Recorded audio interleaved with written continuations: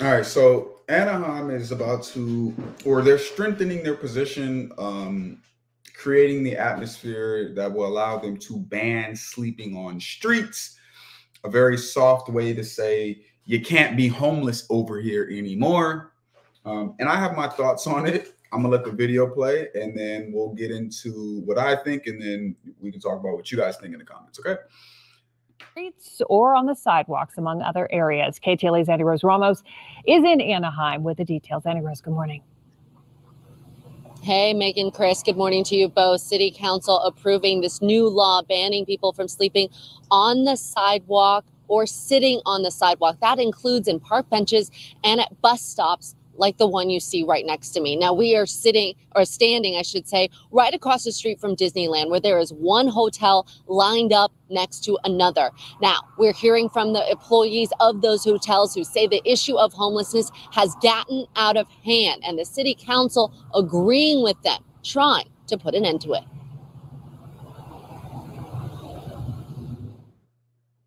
The sidewalk belongs to everybody, not to an individual that want to grab that piece of land. It's not yours to grab.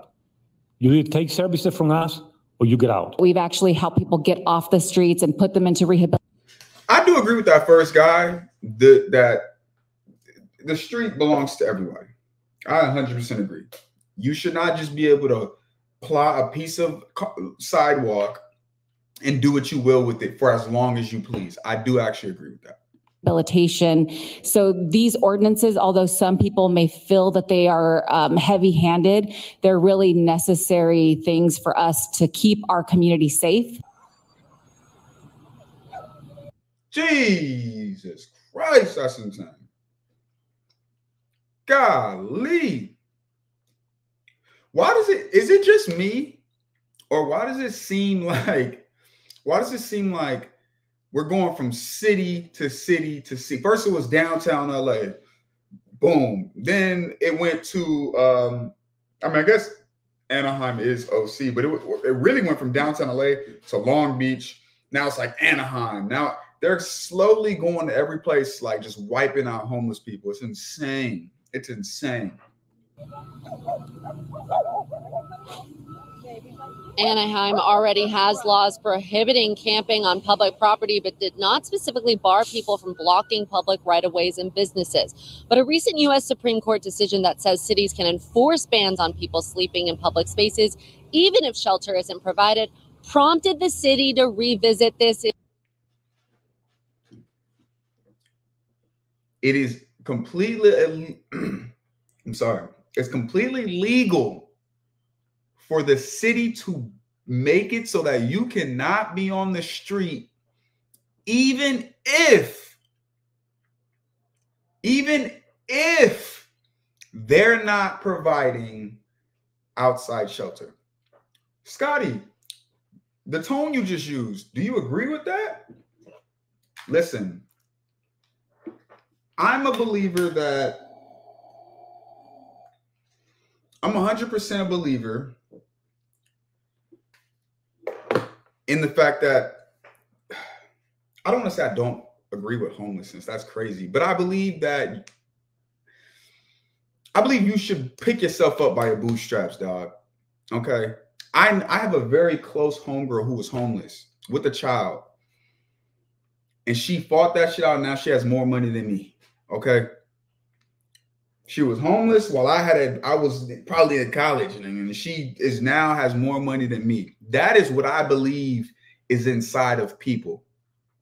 And so I don't think that you need the state, the city, Congressman Gavin. I don't think you need anybody to tell you, hey, you're not allowed to be homeless. You should not want to be homeless yourself. It should be a self internal calling like, yo, I'm not going to just sit on my ass. So let's start there. But additionally, I do think it's I think it's insane that we even have to make laws to say, hey, you can't be homeless even if I don't provide shelter for you. Like, in what world was it like, yo, you you can't be homeless because we provide shelter for you? I don't know. I, I just don't take away people's ability to pick themselves up. Issue. And according to the latest count from this year, Anaheim has more than 1,400 people experiencing homelessness. Now, here is more detail on this law. Take a look. It's called Municipal Code 1111. It says, including, now these are not the, uh, the whole totality of the law, but here's are some of the finer points. No obstructing public spaces, no leaving property on sidewalks, no sleeping or lying down on bus benches, park tables, and benches. Police and officers will have discretion whether to issue citations or make arrests for violating this new law. Residents last night. I like that.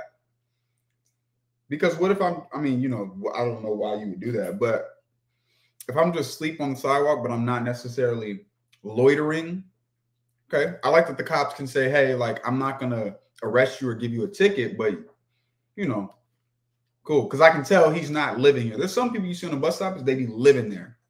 So I get it. Speaking out for and against it. Take a listen. Solution, but we need help to protect our employees, our guests. Willing, I haven't seen this video. Willing to bet everyone that's complaining is a business owner. Willing to bet. The people coming to the resort area.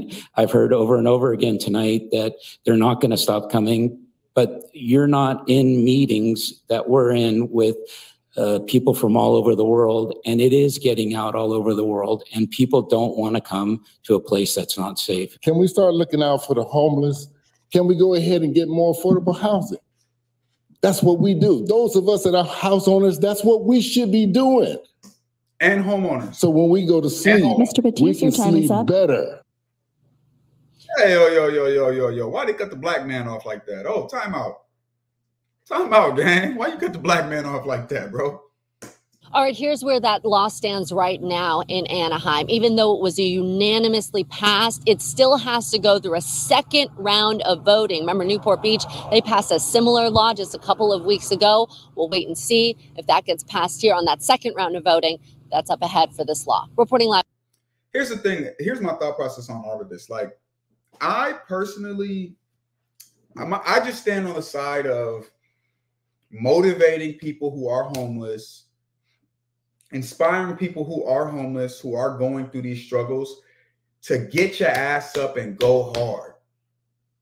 Not in a mean way, not in a not in a vindictive way, but like, yo, champ, you can do it. That's my whole stance on all of this.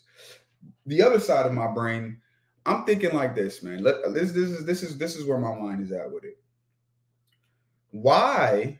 Or, or I asked the question, yo, why all of a sudden are we like doing all of this? It Is it just because it's gotten that bad? Just like, is it because like it's it's we're at the breaking point? Is that what it is? Because I've always seen homeless people for as long as I can remember living in LA, California. For as long as I can remember, always seen it.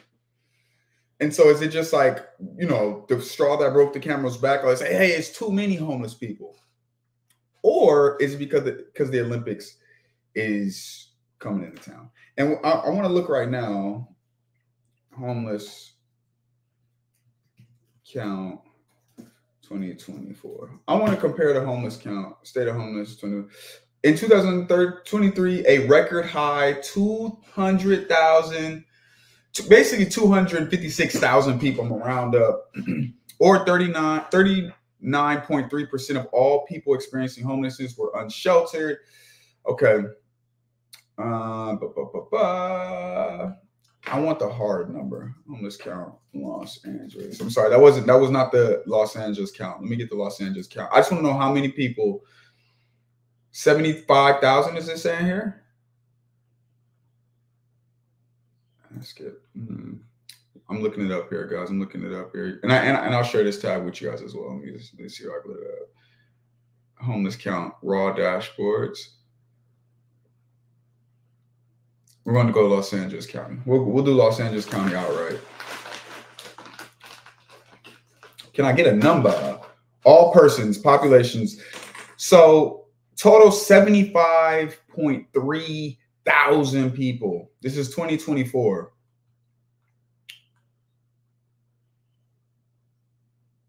Under 18. Damn, 6,000 people under the age of 18. Jesus Christ. And the older they the, the older they get, the more the more of a, uh, higher of a homeless count it is. That's insane. Jesus Christ. But back to what I was saying. I just kind of look at it like, yo, is this because of the Olympics, which a lot of people are starting to think this is what the streets are saying, like, yo, is it's because the the Olympics are coming that they're cracking down on this. So I just I, I just never has I've never seen it be this tough. I've never seen it the crackdown be this enormous until the last until the announcement. Let's be very clear until the announcement of the Olympics. That's when it was like that we've known we've had a problem, but now laws and legislation is coming that's making it easier for these cities um, to get rid of people. And then here's my last thought, and I'll and I'll let you guys go. Telling them they can't be there doesn't make them go away. You guys realize that, right?